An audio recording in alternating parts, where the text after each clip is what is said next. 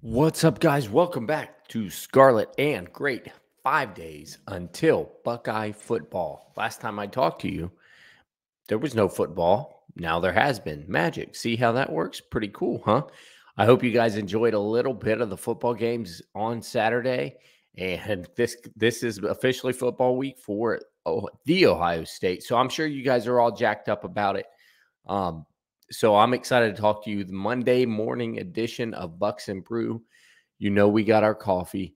You know, we're ready to get going in here. We're ready to kick off the work week right. If you got to go to work Monday, you may as well stop and listen to a little bit of Buckeye talk. So please help us grow this channel to get to 5,700 subscribers by the Indiana kickoff. We're going to talk here just a minute about Notre Dame. Are the Buckeyes fans scared of Notre Dame already because they had that impressive showing on Saturday. Uh, so we're over 5,600 subscribers already. Just a few more. We'll get to 5,700. I think we can do it. If you want free Buckeye content all season long, please subscribe to this channel. And something that you guys have been enjoy- doing that I've been enjoying is comment where you are watching from. A little bit of a roll call, your location inside of Ohio, outside of Ohio if you're outside of Ohio, give me your hometown. I love seeing there's fellow small town Buckeye people. I'm from a small village outside of Dayton, Ohio. Spent my junior high and high school years in Southern Ohio out in the sticks. So comment below and I will I'll be sure to try and reply best I can. I usually get to most of them. All right, Buckeye fans, are you afraid of Notre Dame? You afraid of Notre Dame after that impressive showing? I think you know you look and see the improvements being made, and and that that game was essentially over at halftime. I think I think oh, there's a case to be made that um, this is not last year's Notre Dame team. I think Corey Corey's probably scared to death. Corey's probably looking at this game and going, you know, well, and he's probably very, very just eh, terrified that the, the defense is not going to hold up against uh, what looks like a competent passing attack finally from Notre Dame. Did you guys think that this year's team looked better uh, than last year's? I'd like your comment on that. Yes, or just a wire in on do you think that Notre Dame looked more impressive than they do last year? I'm going to say I think they did. I mean, you look at Sam Hartman and see how much better uh, they are. I think you could see last year their offense seemed so limited, especially when we played them. It was, you know, simple run plays. You the, to to get some sort of creativity. You run receiver in motion.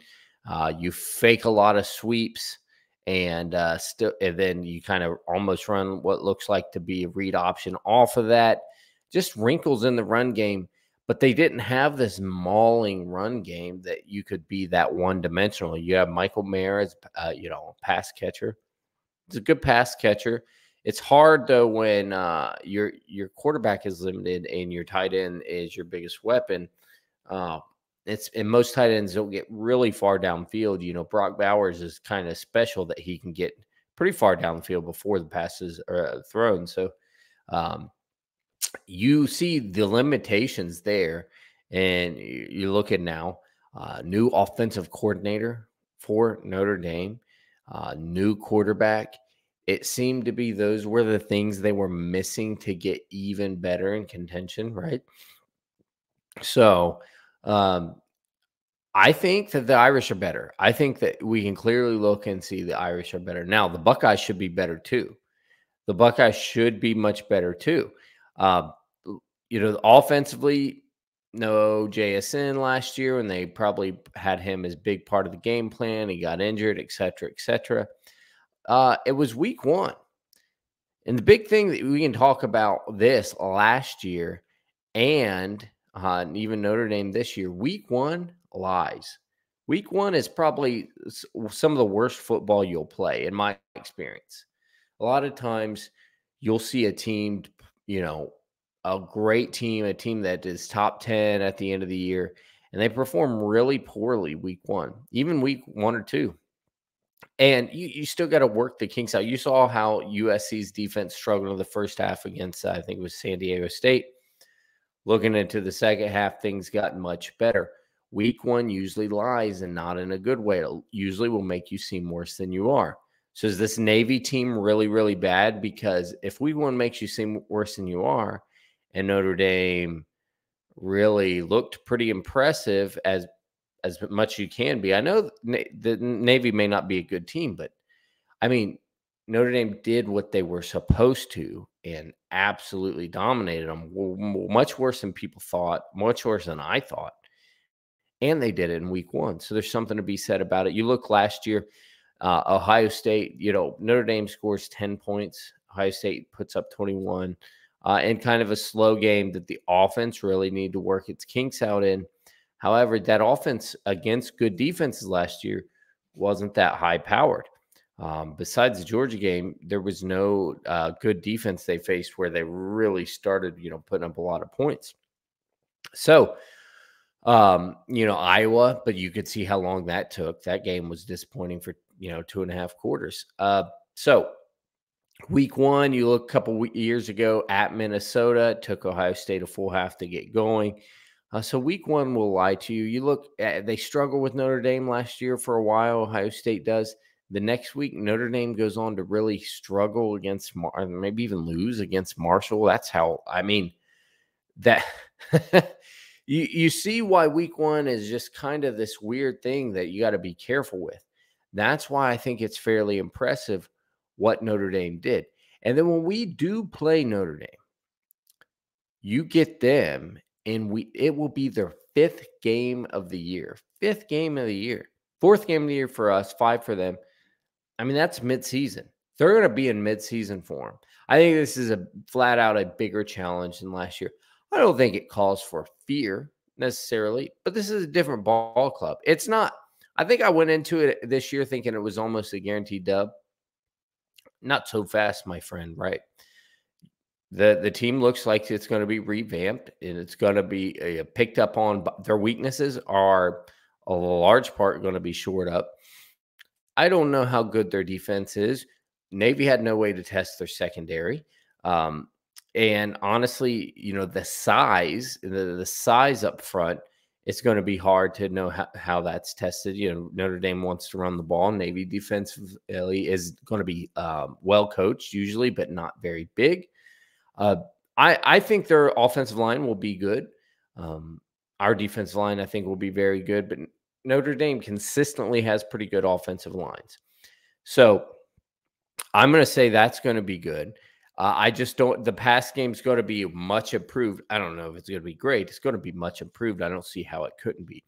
So, lining up, Ohio State's going to have to be prepared. I don't know if you need to be trembling in your boots like Corey is, and just. I don't know if you got to be like that, but you do probably need to have some cause for concern. And there's always outliers going to South Bend, you know, it's going to be a road game. I expect Buckeye Nation to travel really, really well, but it is going to be a road game. Still in the month of September. So uh, anything can go. I expect us not to be running two quarterbacks by then. By then, you're going to have um, either one guy. It, eh, you know, if if it's still if coaches are demanding a, a, a rep split, then I would expect a McCord to probably say, "Well, burn my red shirt." Um, to do this. Or if, uh, uh, and then you'd have Devin Brown as quarterback, or if McCord's named the outright starter by then, uh, you, you'd have your answer there. So, one way or another, I think we'll be down to one quarterback that game, which will be helpful. You have a lot more running back depth this year. Um, although that will be four games in, I do expect Miyan Williams or Trey Henderson to already be injured by that point in the season.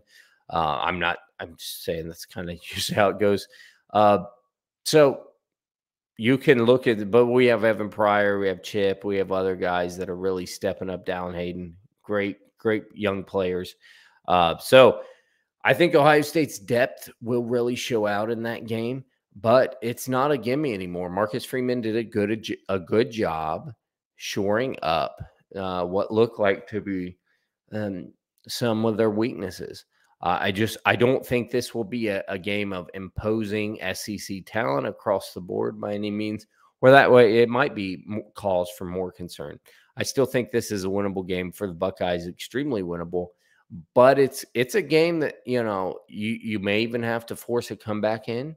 Um, you may have to to you know start slow or, or put up with a slow start there. That's going to be a big jump in competition when Ohio State is going to ha- come off of Indiana and uh, some non-power five schools after that before Notre Dame. I think that is going to be one of those cases where the competition the competition jump might uh, shock both teams a little bit. It could, who knows? It could shock both teams. I think Ohio State's the more talented club. So early in the season, that's going to favor Notre Dame to, you know, uh, to shock the system to get both teams a little bit shocked. That it might narrow the gap briefly, but at the end of the day, the Buckeyes recruit better. I think they're better coached. Um, at least you know uh, offensively they are. So I expect um, things to be still favoring the Buckeyes. I expect the Buckeyes to be favored at kickoff in that game. I wonder what you guys are thinking. Do you guys are are you scared? How are you feeling? Let me know in the comments. Uh, I think the Buckeyes could still win this game, should win this game. But you look at uh, Marcus Freeman being a defensive head coach. I understand that defense will be stiff test, and also understand again um, you you got a guy in Sam Hartman. He can extend plays with his legs. He is a good passer. I don't think he's Joe Burrow. I don't think he's C.J. Stroud, etc. But he's a good passer. He's good enough that you can't you can't just leave people open. You know, I would say he's at least a J.J. McCarthy good pass, probably maybe a little better passer than J.J. McCarthy. Um, he'll be good enough to where you have to respect the throw game and, you can't just stack the box. So Notre Dame coming with some more balance. That is that's something that the Jim Jim Knowles is going to kind of have questions uh, answered that game, right? We're going to know do we have a guy that can do both? Do, or is the secondary still going to be a big problem? Or now all of a sudden, do we have a run problem? Because Notre Dame has always liked to to, to pound the, the football, and you're going to see that put to the test. So I am interested. Are you afraid of Notre Dame? I don't think this is cause for fear, but they did everything they should have done. And the Buckeyes do not have a gimme game coming up September 23rd.